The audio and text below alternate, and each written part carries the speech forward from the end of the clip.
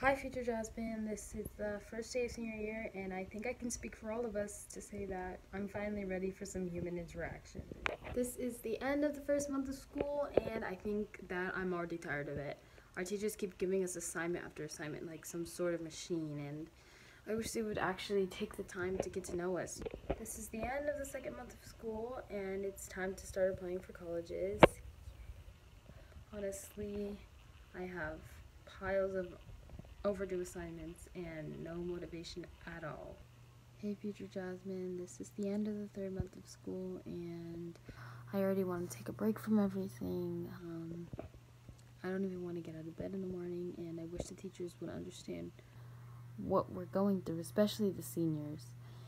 And sometimes I just feel depressed, and I need somebody to talk to.